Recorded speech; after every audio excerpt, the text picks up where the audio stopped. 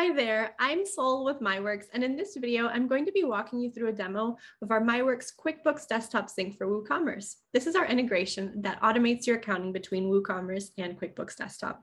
Now, we do also have support for QuickBooks Online and point of sale versions, and you can also find our separate demo videos for those. Now, let's dive in and let me show you how it works. Now, as you can see here, we're in the back end of WordPress. So MyWorks integrates your WooCommerce and QuickBooks Desktop by adding a helper plugin on your WordPress site and then connecting to QuickBooks Desktop using the QuickBooks Web Connector. That's an app that QuickBooks has developed to allow for connections like these. Now, by connecting directly to the QuickBooks Web Connector, we ensure that your connection is safe and secure. So your data goes straight from your website into your QuickBooks not processed by us or by any third parties. Now in this video, we're going to discuss a few of the most common questions and use cases of MyWorks, but keep in mind that with how powerful MyWorks is, we do support more complex setups, such as custom field mapping, advanced tax and payment syncing, bundled or composite products, and of course, we do support versions of QuickBooks that are hosted on platforms such as Right Networks. If you do have more questions about your specific needs, we definitely encourage you to reach out to us via live chat or schedule a live demo with one of our team members. Now, let's look at how we can automate your accounting so you can spend more time on the things that truly move the needle for your business. Now, MyWorks will completely automate the data entry between WooCommerce and QuickBooks. That means that all of the data created in WooCommerce about your sales, such as your orders and your customers and your payments and your transaction fees, all of that is going to be entered into QuickBooks automatically. We can also sync data from QuickBooks into WooCommerce and vice versa. And of course, in both ways. So for example, inventory, you might manage inventory in one platform or the other or in both. So we can actually sync inventory in both directions. This way we'll make sure that all of your data is in sync. What's also nice is if you create new data such as products or customers in WooCommerce, we can sync them over to QuickBooks. And if you create products in QuickBooks, we can also sync them back into WooCommerce. So aside from syncing your accounting data, we can also help you save time in a lot of other areas. So let me show you how it works. So first, as I mentioned, the connection is going to be made with QuickBooks through the QuickBooks Web Connector. You'll follow a few quick steps here to connect the two platforms. And then you will configure your custom way of syncing through our settings. Now you're going to see here we have quite a few different pages of settings. We have default settings, order settings, product settings, customers, taxes, mapping, poll, automatic sync, and other miscellaneous settings. Now I'll just show you a few of the most important ones. But again, we do encourage you to contact us via live chat or to schedule a demo if you want to talk more about specific features or your use case. So let's start with the automatic sync tab. Here you can see what type of data we sync in each direction. From WooCommerce to QuickBooks, we sync customers, orders, products, variations, and payments. Then from QuickBooks to WooCommerce, we sync inventory, pricing, and products. Now you might have noticed that we have on and off switches here. These allow you to enable or disable syncing in each direction. So for example, if you create products in QuickBooks and you want them to automatically sync to WooCommerce, you will want to turn this setting on. If you want to sync inventory changes from QuickBooks to WooCommerce, you'll also turn the setting on. Next, I'm going to show you a few of the order sync settings. So these are very important. And what you're going to see here is there are a lot of settings. So I, I'm not going to bore you with all of them, but I do want you to understand that you can customize basically every area of the sync. First, we have how you sync your WooCommerce orders. So you can sync them as an invoice, as a sales receipt, as a sales order, or as an estimate. You can also customize the way that you sync each order and the format based on the WooCommerce customer role or the payment gateway used at checkout. It's really handy and useful settings. Next, I want to show you the sync trigger. So how do we decide what syncs to QuickBooks? we actually decided based on the WooCommerce order status. And actually, it's not what you, you do. So in this field, you're going to enter all of the statuses that you want to trigger a sync to WooCommerce. So in this field, you're going to enter all of the statuses that you want to trigger a sync to QuickBooks. For example, these could be pending payment, processing, on hold, completed, or canceled, or any other custom statuses that you've entered in your WooCommerce. Next, what I'd like to show you is that you can assign a few actions to happen automatically when that order reaches QuickBooks. So you might need all of your orders to be printed, or you might need the order notification or the invoice to be emailed to your customer.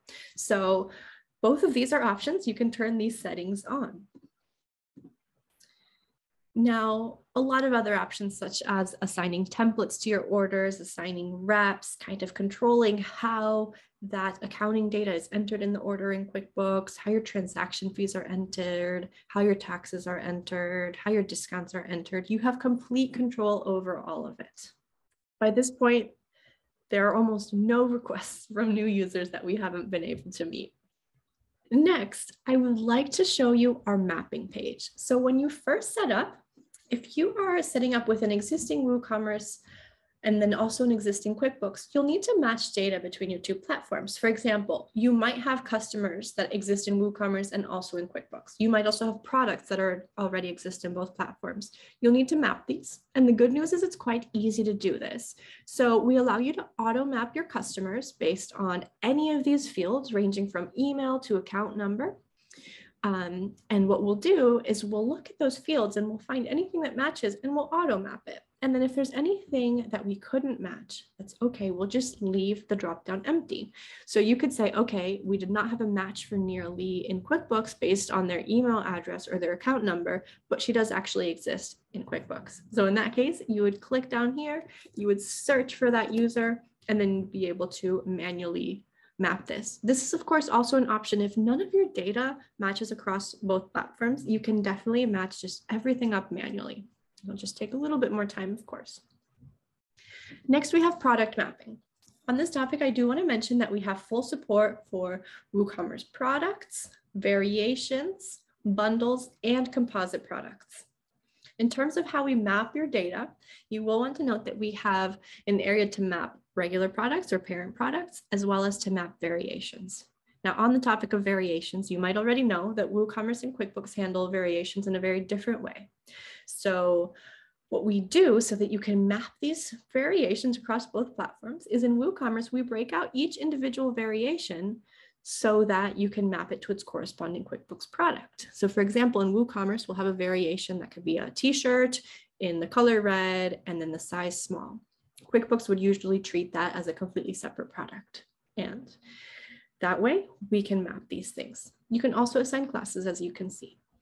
Now back to regular products. I do want to show you again, we can auto map our products by name, SKU number, ID, or a custom product field. And again, we'll do basically the same thing as I showed you with, with the customers. We will try to match everything up. And then if there's anything that we couldn't match, we'll just leave it empty for you to handle on your own. All right, so next, let's discuss payments. So if you are processing payments in WooCommerce, you're going to need to account for that data in QuickBooks. The great news is that MyWorks can automate all of that. We can sync your payment information, we can sync the transaction fee, and we can do all of this following your exact needs. So I'm going to show you Stripe as a payment gateway option. In your case, you're going to see all of your payment processors or gateways on this page, and you'll be able to configure individual settings for each one. For you, Stripe as the example, you can enable payment syncing. You can choose how you want to sync your order. Now this connects to what I was showing you back in our order sync settings, where you could say, okay, I want to sync an order in a different way based on the the way the order was paid. If, for example, a customer paid by credit card, you probably want to sync that as a sales receipt. If they chose the option to pay by check or pay later, then you'll want to sync that order over as an invoice. Next, you can choose the label for that payment, then the bank account where that payment should be recorded in. It's very nice here as you can choose different bank accounts for each one of your processors. You can also map terms if you would like to. And then you can enable refund syncing and you have a few more options and settings, like advanced settings for syncing your refunds. Next, you can also choose an accounts receivable account. You can choose to sync your transaction fee as a negative line item. And if you do, you can also choose a negative line item product for it. Now, another option is to sync an artificial payment if an order is marked as a specific status. So in your case, you might mark an order as complete and if that status is there, you want that order to be marked as paid in QuickBooks. Great. Now, if you do have any payment processors that don't record your transaction fee inside of the WooCommerce order, you might be struggling with that. We do have a solution actually. So MyWorks Sync is able to pull that transaction fee and it'll also sync that transaction fee over to QuickBooks. So you'll be able to correctly account for your transaction fees And again, our goal here is always to automate as much as we can for you. And as you can see in this process, basically everything is automated for you. Next, I would like to show you taxes. We can sync taxes between WooCommerce and QuickBooks. There are just two different ways. If you have automated sales taxes enabled in WooCommerce, we will sync them over automatically. If you have manual tax rates, then we'll just map them to their corresponding tax rates in QuickBooks. We can also sync your coupon codes, and then we can also sync your shipping methods. Now, finally, custom fields. We do support syncing custom fields between WooCommerce and QuickBooks. So on this page, you'll be able to select any custom field, and then you will be able to select the field to use in QuickBooks to sync that over to. Super handy for more advanced stores. Also on the topic of syncing additional data, I wanted to mention that we have extended compatibility with over 25 WooCommerce plugins. Now, what does that mean? We are compatible with almost all WooCommerce plugins, but what's different with our extended compatibility is we can sync specific data created by those plugins over to QuickBooks. So an example is WooCommerce shipping, WooCommerce subscriptions. We do have extended compatibility with all of these most common WooCommerce extensions. And again, quite a few of them. Next, I want to show you the WooCommerce orders page so that you can see just how closely we integrate your QuickBooks and your WooCommerce and kind of how closely integrated MyWorks is with the back end of your site. So as you can see here, you can see all of your orders as usual, but what's new is there's this QuickBooks desktop column here, which shows you your order sync status. So you'll always be able to see whether or not your orders have synced and you'll notice here, we have some that are synced and some that are queued. What happens here is your orders get added to the queue, and then they wait until the next sync interval to sync to QuickBooks. Now your sync interval can be anything you would like. It could be every five minutes, it could be every 10 minutes, it could be every 16 minutes. You can really enter any interval you'd like. Um, so an order would be queued here if it's just waiting for the next sync interval. Now, if something is marked here as not synced, the usual only reason for that would be that it hasn't gotten to the WooCommerce status at which we trigger that sync. For any reason it hadn't, let's say you're only syncing processing and completed orders, but this order is pending payment. If you still look at it and say, hey, I do want that in QuickBooks, you can just manually click to add it to the queue. Now, another alternative is if you don't want any of your data to sync to QuickBooks automatically, you can completely turn off the automatic sync, and then you can choose to instead come and look at your orders and then choose manually what orders you want to sync to QuickBooks. So again, we can automate things for you or we can leave them kind of more manual. So it's really up to you. You can really create a customization and a system that works for you. Now, just a few more things to show you. We do have push and pull pages. So these pages allow you to push data from WooCommerce to QuickBooks or pull data from QuickBooks into WooCommerce. It is an alternative to the, to the automatic sync and it is not necessary. However, if you have existing WooCommerce stores and existing QuickBooks accounts, you might need to, for example, push your existing WooCommerce customers over to QuickBooks because you haven't created them. Or you might have products in QuickBooks that don't yet exist in WooCommerce and you want to pull them over. So the way MyWorks handles this is we would never automatically sync any past data, anything that, that existed before we were set up on your site, but we would give you the option to manually sync this if you would like.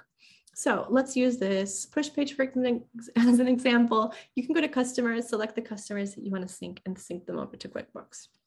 Next, you can also go over to the pull page and from the pull page, you could sync inventory levels, pricing, or products over from QuickBooks into WooCommerce. So as you can see here, I could select all of those products and just pull them over. I can also see the sync status, so I can see whether or not these products exist in QuickBooks.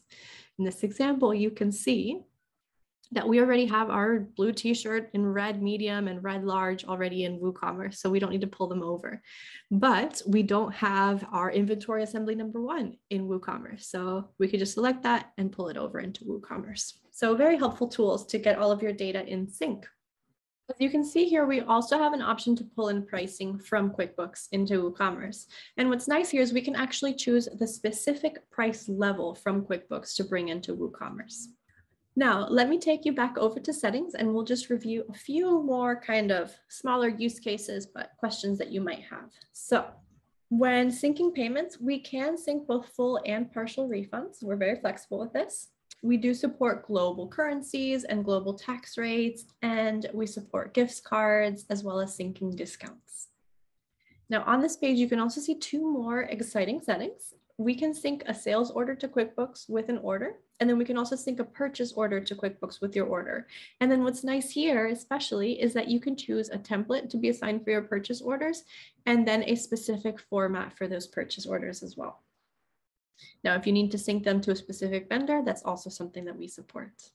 Great. Now that covers some of the most common use cases and the most used features. If you do have any specific questions about your use case and your store and your accounting, please do reach out to us via live chat or schedule a live demo with us. Our team would be more than happy to talk you through this and answer your questions. Thank you so much and have a good one. Happy syncing. Goodbye.